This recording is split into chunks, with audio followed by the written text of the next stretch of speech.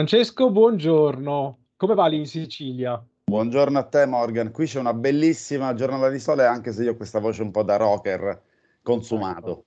Qui invece piove, vedi, benissimo, vedi. nord Italia, sud Italia e già partiamo bene. Bene, non benissimo, diciamo. esatto.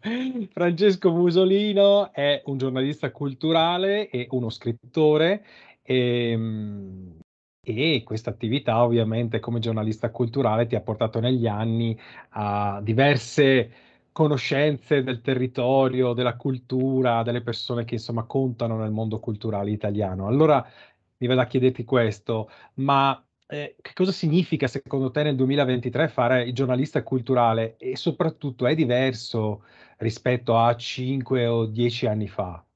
Guarda, eh, io ho cominciato nel 2006, mi ricordo forse il primo libretto che, che, ho, che ho, ricevuto da Einaudi, è stata una grande emozione, mi ricordo, credo fosse un libro di Norman Mailer, bellissimo, no? mi ricordo la prima volta che ho aperto un pacchetto, no? la, la, la, senti la fiducia eh, della casa editrice, della grande casa editrice che per la prima volta ti, ti manda un libro, quindi una grande emozione. Ricordo la passione dei primi pezzi, giornali online, cose anche mh, scalcagnate, roba così un po' poi insomma dimenticata nel tempo, invece con altri ci siamo ancora, siamo ancora in contatto. La grande passione sicuramente è fondamentale e c'è sempre. Nel tempo, passando da, da redazioni online a redazioni cartacee, passando da quotidiano a quotidiano, sempre, sempre precario. Questo lo voglio dire subito a inizio conversazione questo mestiere è distrutto dal precariato. Perché ragazzi, io dal 2006 ogni giorno io mi sveglio e comincio a mandare proposte. Ed è un po' come stare con una bomba a mano in tasca. Io non so se questo come, come, cambierà il giornalismo, vedo, leggo molto il New York Times, leggo il Guardian, cioè mi, cerco di tenermi sempre informato, vedo che loro stanno spingendo sulle firme, non lo so cosa succederà al giornalismo italiano, però vi posso dire che non può durare all'infinito così, cioè è strano. Il mestiere è però bellissimo, eh, hai la possibilità di incontrare i tuoi miti, i tuoi, insomma, i tuoi scrittori del cuore, eh, hai la possibilità di vedere crescere degli, degli, scrittori, di intessere anche dei rapporti personali, delle amicizie, di frequentare i festival, di vedere il dietro le quinte della produzione di un libro eh, di vedere un giorno la tua, la tua frase in, una, in un lancio di un libro. Ci sono delle grandi soddisfazioni. Bisognerebbe far cambiare le cose anche da un punto di vista economico e della valorizzazione della firma. E negli ultimi 5-10 anni, secondo te è cambiato molto o l'andazzo è il solito a parte il precariato? Ma sì, è cambiato perché, perché sono entrati prepotentemente i blog, i blogger, i TikTok, tutta questa roba social che io non mi sento assolutamente di, di condannare o di giudicare, non, non, sta a me giudicare, sono cose diverse, pubblici diversi, un tipo di lettura diversa. Io mh, mm, due giorni fa ho fatto un lancio importante sul messaggero del nuovo libro di Carrer, cioè, ho lavorato sulle bozze, è stato veramente emozionante. Eh, quel tipo di lancio lì serve per un altro tipo di pubblico, le copertine, i, insomma, i talk, le dirette su Instagram è cambiato tanto, però secondo me io adesso ho una, ho una nipote che ha 14 anni ed è una grandissima lettrice e so che ci è arrivata tramite TikTok e allora ben venga anche TikTok, che male c'è. Assolutamente. Proviamo, Francesco, tornare proprio indietro, come menzionavi prima, i tuoi inizi. Ti va di raccontare qualcosa, soprattutto anche per i più giovani, no? Condividere delle esperienze che per te al tempo magari furono quasi, come dicevi prima, emozionanti, delle novità, però magari per un giovane che inizia, quelle cose possono sembrare, non so, spauracchi, ansie. Certo.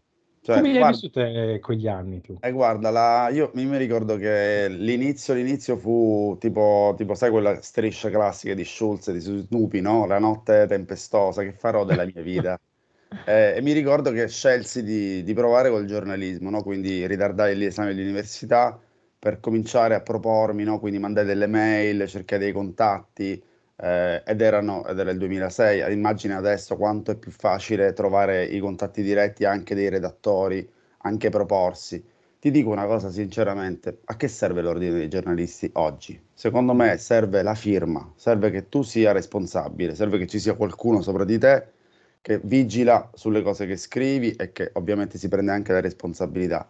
Non è un que- una questione di mettere ordine, di mettere tessere, di mettere bolline di pagare le tasse. Il giornalismo è altro, è la bellezza, il mestiere, è prendersi la, la responsabilità di portare una notizia, chi vuole fare il giornalista, secondo me, che sia culturale, economico, di cronaca, deve sentire il fuoco sacro, perché senza passione questo mestiere non lo puoi fare. Allora io ho certo. cominciato con la passione e poi piano piano ho cominciato a fare giro di pezzi. Ecco, una cosa che mi è servita tantissimo, a un certo punto mi sono creato una newsletter interna, aggiungendo indirizzi, ero un po' stalker, ma ero, era, era giove, ero giovane stalker, diciamo, eh, e così però piano piano ho costruito una rete, sai, poi tipo, cominciavano a proporre dei, dei, libri, dei titoli, delle prime interviste. È bello, eh, quando porti a casa delle cose che, che hai pensato, delle interviste che, che insomma, hai, hai seguito tu, dei nomi che hai voluto fortemente, è una bella soddisfazione. Certo, certo. Eh, in parallelo all'attività come giornalista, oltre ad alcuni racconti, nel 2019 hai esordito anche come narratore, come saggista, quindi hai avuto un anno importante e quest'anno con il romanzo Mare Mosso, eh, edizioni EO, sei candidato al premio Strega. Ora, questo passaggio, se così possiamo dire, mi permetti la parola, da scrittore, o meglio da giornalista a scrittore, è stato qualcosa che, che sognavi un po' anche da quando eri giovane, oppure è stato qualcosa che si è creato da semi che a un certo punto sono così esplosi e te li sei trovati di fronte? Guarda, sai, eh, chiamo, chiamo in causa un amico, no? Che è Antonio Prudenzano. Antonio a un certo punto mi disse, ma perché non fai un libro pure tu? Quando lo fai il libro? Lo sai quelle provocazioni? Quando è che esce il tuo libro? Io ho detto, Antonio, ma, ma di che stiamo parlando? Mhm. E poi, poi, poi la, la vita ti porta a spasso, no? La vita è, diventa, è sempre tutt'altro da quello che tu sogni. Io c'è stato un momento in cui eh, scrivevo per Vogue, avevo dei contatti fortissimi a Milano, ero pronto a trasferirmi a Milano quella prima volta lì, poi la mia vita cambiò per, un, per una perdita grave e, e, tutto era io, tutto si sistemò altrove. E però da quel momento in poi un, ho sentito il bisogno di, di raccontare una storia che non era la mia storia. Io ho cercato di fare un passo indietro, ho cercato di raccontare nell'attimo prima una vita diversa da quella che avrei potuto vivere tenendo le emozioni. Per me questa cosa è molto importante. Quindi non ho scaricato la, il bagaglio della mia esperienza emotiva, ho fatto un altro passo alla, diciamo, indietro. Però questa cosa mi ha permesso di avvicinarmi alla scrittura con qualcosa di molto mio, di molto personale, che volevo raccontare. E dopo quel primo racconto, poi vabbè, c'è stato il saggio con Newton, ma quello è un altro discorso sulla Sicilia, insomma, un, un tipo anche di racconto che però è anche mio nel senso la necessità di raccontare l'isola in maniera diversa dalla cartolina. Ecco, questa è anche una cosa molto mia.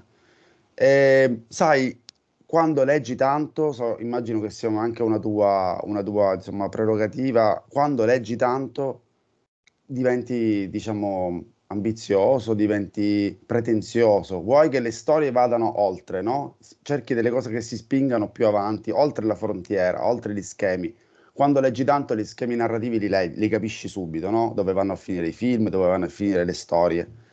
Allora, scrivere per me è stato un provare a, a raccontare la mia storia, le mie storie, il, il, mio, il mio, linguaggio, il mio modo di, di, leggere le cose. E non è stato per me un accodarsi a, al trend, a, alla cosa che andava di moda, ma fare la mia parte, no? fare mia, il mio pezzo di racconto, ben sapendo che in una biblioteca mondiale ideale dopo Murakami c'è Musolino, che è un po' strano. Questa mi è piaciuta.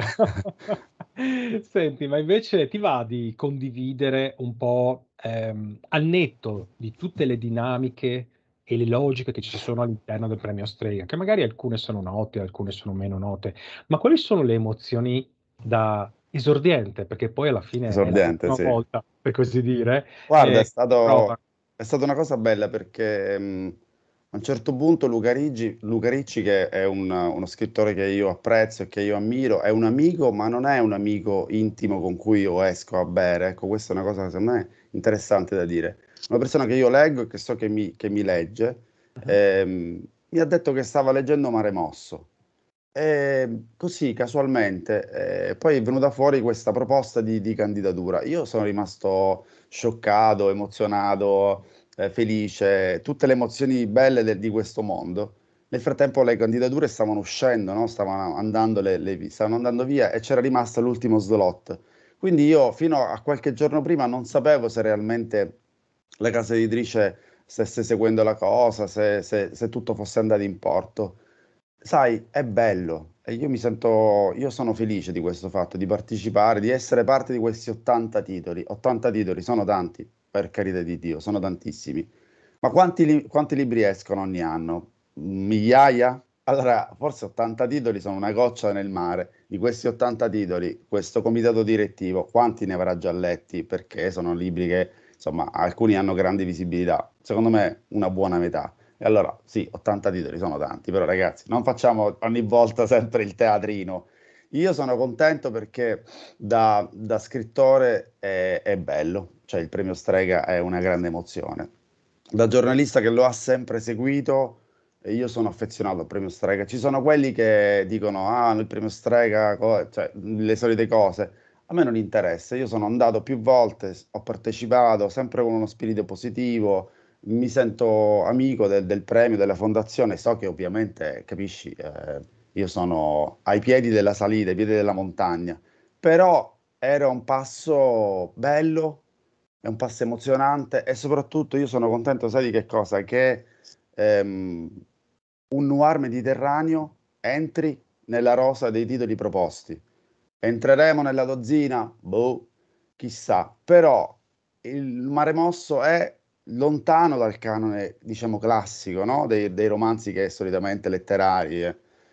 Allora, forse anche questa è una cosa bella da dire.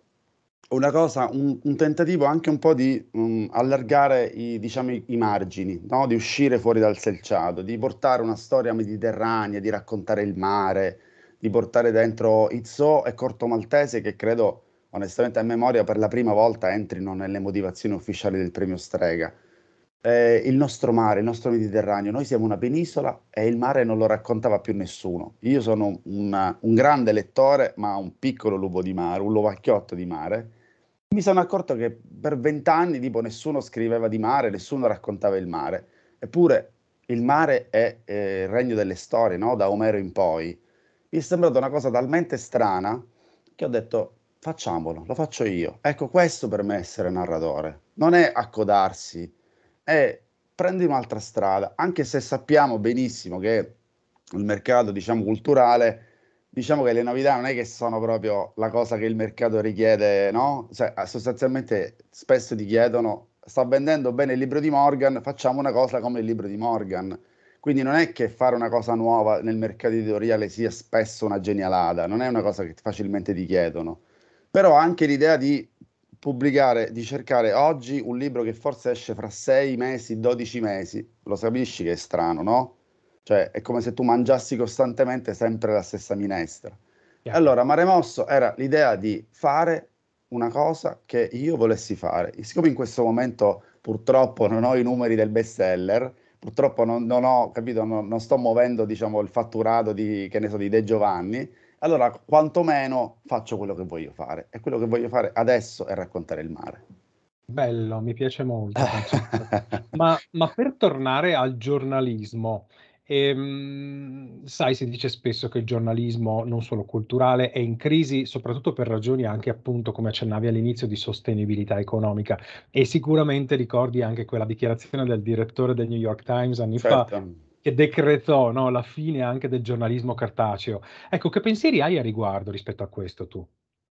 È difficile perché, perché quando tu, cioè, capisci che è anche una cosa molto, molto personale, nel senso che quando tu investi la tua vita su un mestiere e capisci che le redazioni, salvo colpi di scena eclatanti, non assumono, eh, tanto che l'ordine dei giornalisti è in crisi perché ha, mancano le assunzioni, è dura questa cosa, eh? è proprio cioè, come se parlassimo di una, di una storia d'amore travagliatissima. Sì. Però credo che mh, sia anche stupido continuare a insistere sempre con le stesse cose. Se le nuove generazioni non comprano i giornali, ed è evidente, se c'è una pirateria del, dell'editoria che è evidente e che non possiamo far finta che non ci sia, eh, bisogna, secondo me, valorizzare le firme, ed è quella cosa che ti stavo dicendo prima, e cercare di creare, proprio come fa il New York Times, dei canali paralleli in cui la firma vinca. Allora, questo cosa significa? I pezzi restano sempre. Quando Mussolini... stai parlando, scusa, mi stai parlando dei microabbonamenti, ti Sì, i microabbonamenti o le fidelizzazioni o i podcast, tutto quello che può essere senti, tu ti sei sempre letto Francesco Musolino, Morgan Palmas sul giornale, abbonati a questa cosa, ti arriveranno le, i contenuti di Musolino, di Palmas, di La Gioia, no? quello che vuoi tu, della Lipperini, quello che ti pare a te, perché sai che di loro ti puoi fidare. Ecco, è la fiducia la nuova moneta, o forse è sempre stata questa, però in un tempo in cui, lo diciamo, cioè, è inutile fare finta di niente, in cui in tempo in cui ci sono tante recensioni anche nei blog, anche nei giornali, anche nei giornali più quotati che sono un po' ruffiane, quello che vince secondo me è la fiducia. È che io mi trovo una recensione di Morgan Palmas e dico questa me la posso leggere, mi fido. Poi lo compro o non lo compro, questo è un altro discorso. Però io vorrei che si tornasse o che si rivalutasse quella cosa che succedeva dieci anni fa ancora, quando la gente veniva in libreria col giornale e diceva io voglio questo libro qua perché lo, me lo consiglia tale e io di tale mi fido. Questa cosa purtroppo, e io che frequento le librerie spesso, non la vedo più, non la vedo più, non, difficilmente vedo, sento, ah ho letto il pezzo, accade, ma accade pochissimo. E allora mm. come si rifà a riprendere questa cosa, questa, a rimetterla in movimento? Secondo me è una questione di fiducia, di valorizzare le firme, di investire sui ragazzi, di investire su chi veramente ci crede. Rai, eh, per scrivere di un libro bisogna leggerselo. Io partirei da qui. È un lavoro che tu fai anche a fondo perduto. Quindi bisogna, secondo me, bisognerebbe che ci fosse più fiducia, più spazio nei giornali per, per le pagine dei culturali, per i libri. Lo so che sembro anche un po' utopico, però puoi pensare anche a un paywall, un'espansione digitale, audio, un podcast, cose che spingono verso una generazione Z che non si compra i giornali. È inutile che tu cost- spingi verso cose che non ci sono più. C'è un mercato nuovo, bisogna andare in quella direzione lì, senza snaturarsi. Non è che mi metto il cappello in testa e suono la chitarra, cioè eh, Giovanotti fa Giovanotti, Musolino fa Musolino, ognuno fa il suo, cioè è inutile, yeah. capito, stare a mescolare le cose, però cercando di indirizzarsi verso un altro mestiere. Potremmo aprirci un canale TikTok tu e io, sì, ma non lo so se funzionerebbe, ma perché mi devo andare a fare cose? Cioè, io solo bisogno... se balliamo, solo se balliamo insieme. Esatto, ma ho bisogno di altre notifiche, di altri push, di al... ma basta, per, ti prego, facciamo di no. Facciamo che cerchiamo delle vie alternative per resistere senza snaturarsi. È difficile, non ti sto dando nessuna soluzione, non sono un editore io. Però secondo me lo spazio c'è, cercando di andare incontro alle, al nuovo mercato, senza però sba- snaturarsi, senza svilirsi. Uh-huh. Ti faccio sognare. Allora, salto in avanti di dieci anni, ma adesso devi sognare davvero, tu che parli di mare. Salto in avanti di dieci anni, è il 2033, marzo 2033. Francesco si sveglia improvvisamente il mattino. Che cosa vorrebbe fare? Allora, mi sveglio nella mia casa di Londra, perché se devo sognare, sogno in grande e Londra è la mia città del cuore. Eh, mi sveglio nella mia casa di Londra, mi faccio un caffè americano, cosa che, che bevo tutt'oggi, prendo i giornali, io sono abbonato e lo dico con grande, con grande diciamo, felicità, è una cosa che mi ha passato mio papà. Eh, sono abbonato adesso a quattro quotidiani e io voglio restare abbonato a quattro quotidiani, quindi prendo il caffè americano, mi guardo i miei quotidiani, entro nello studio, chiudo la porta e mi metto a scrivere. E questo per me è la felicità. Direi che non è male. Eh? Fra dieci anni ci vedo bene con una scena. Io, io, io voglio investire sulla mia scrittura. Eh, la, il giornalismo culturale è la mia, la mia, sostanza, la mia base, però voglio investire sempre di più sulla scrittura, su, sul mio modo di narrare. Poi chissà, non dipende solo da me, c'è anche il fattore fortuna che sappiamo quanto conta, no? Però io credo moltissimo anche nei corsi di scrittura che tengo, io credo moltissimo nella motivazione. Se tu non stai col culo sulla sedia, il libro non si scrive da solo. Quindi, questo diciamo, la partenza è la tua volontà. Poi, sai, uh, 100.000 varianti e variabili.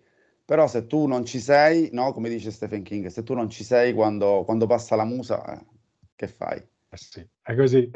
Francesco, ti auguro una buonissima giornata siciliana, dato che c'è il sole e qui mm, guardo un po' la finestra. Allora, come direbbe Woody Allen, quella è una giornata perfetta per scrivere. Eh? Esatto, o per lavorare. per lavorare. Ti ringrazio Bene. tanto per il tuo tempo e per queste belle domande. Grazie a te, caro. A presto. Grazie. Ciao. Ciao.